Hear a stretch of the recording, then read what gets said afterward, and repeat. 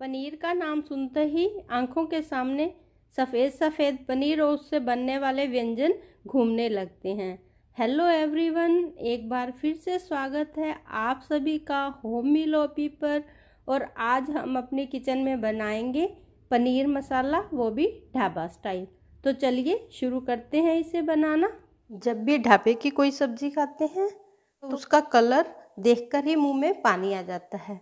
तो चूँकि आज हम ढाबा स्टाइल पनीर मसाला बना रहे हैं तो उसके लिए हम सबसे पहले पनीर को करेंगे मैरिनेट। इसके लिए एक बड़े बाउल में लेंगे पनीर। मैंने 250 ग्राम पनीर लिया है और इसे बड़े बड़े पीसेस में कट कर लिया है।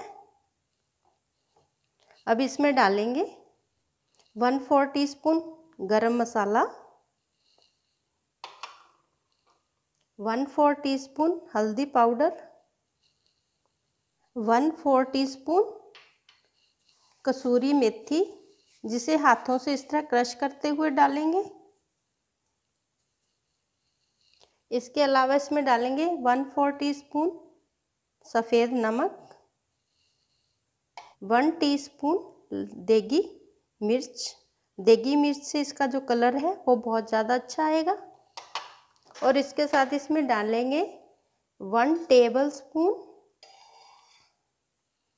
वेजिटेबल ऑयल और इसे अच्छे से मिक्स कर देंगे।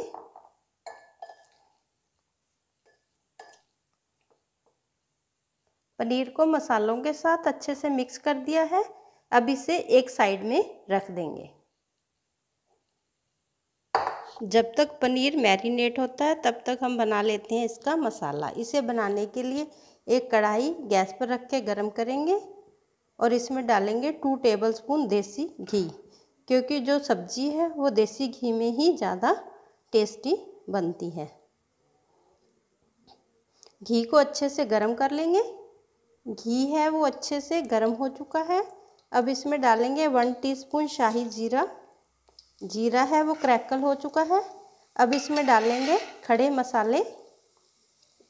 एक बड़ी इलायची, जिसे थोड़ा क्रश कर लिया है।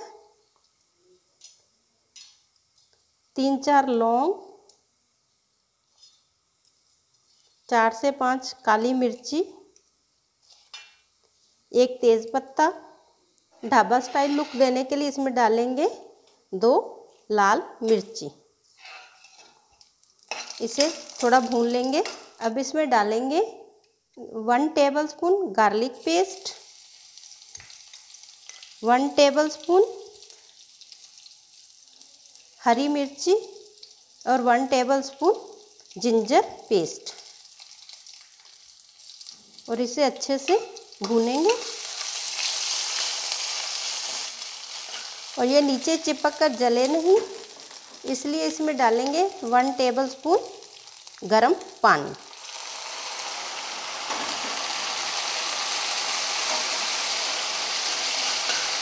इसमें डालेंगे एक बड़ा प्याज, बारीक चॉप किया हुआ, और इसे भी अच्छे से भून लेंगे। जब तक प्याज भूनता है हम अपने ड्राई मसाले डालने के लिए तैयार करेंगे। उसके लिए एक बाउल में लेंगे वन टीस्पून वेजिटेबल ऑयल, जिसमें डालेंगे हाफ़ टी स्पून हल्दी powder, half teaspoon garam masala, half teaspoon धनिया पाउडर एंड जीरा पाउडर, वन टीस्पून साल्ट या सब्ज़ी के टेस्ट के according one and half teaspoon देगी मिर्च पाउडर जो सब्ज़ी को बहुत ही अच्छा सा कलर देगा। इसके साथ ही ऐड करेंगे हाफ़ टी स्पून कसूरी मेथी जिसे हाथों से क्रश कर लिया है और इसे अच्छे से मिक्स कर लेंगे। और इसके साथ इसमें डालेंगे वन टेबल स्पून गरम पानी और इसका एक अच्छा सा मिक्सचर बना लेंगे। सभी ड्राई मसालों का मिक्सचर हमने तैयार कर लिया है। अब इसे ऐड करेंगे भुने हुए प्याज के अंदर। देखिए, प्याज अच्छे से भुन चुका है। अब इसमें ड्राई मसालों का मिश्रण ऐड कर देंगे। और इसके साथ ही ऐड करेंगे वन टेबल स्पून पानी। और इसे अच्छे से दो मिनट भून लेंगे। देखिए कितना बढ़िया कलर आ रहा है। मसालों को प्याज के साथ दो से तीन मिनट भून लिया है। अब इसमें ऐड करेंगे ग्रेट किया हुआ टमाटर। टमाटर को मैंने ग्रेटर की बड़ी साइड से ग्रेट कर लिया है। चार टमाटर का पल्प बनाया है। अब इसे भी ऐड कर देंगे प्याज और मसालों के साथ। और इसे भी दो से तीन मिनट तक अच्छे से भून लेंगे।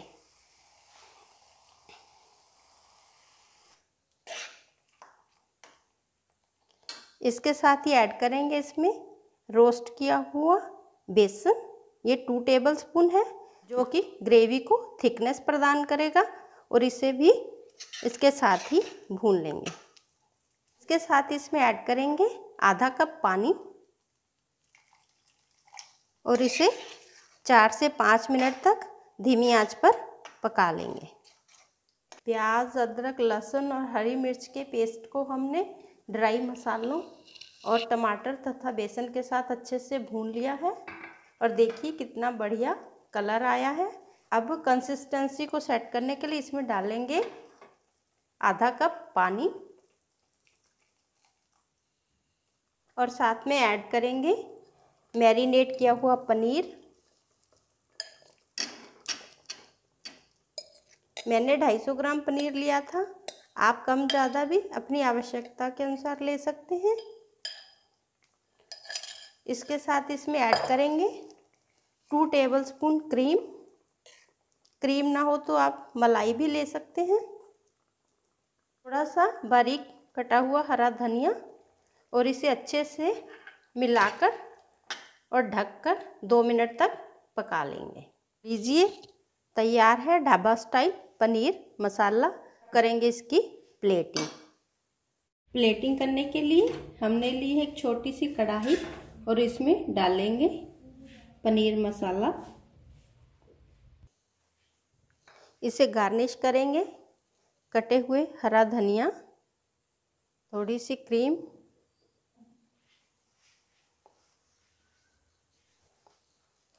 टमाटर के छिलके से बनाए हुए रोज़ के साथ। लीजिए, तैयार है।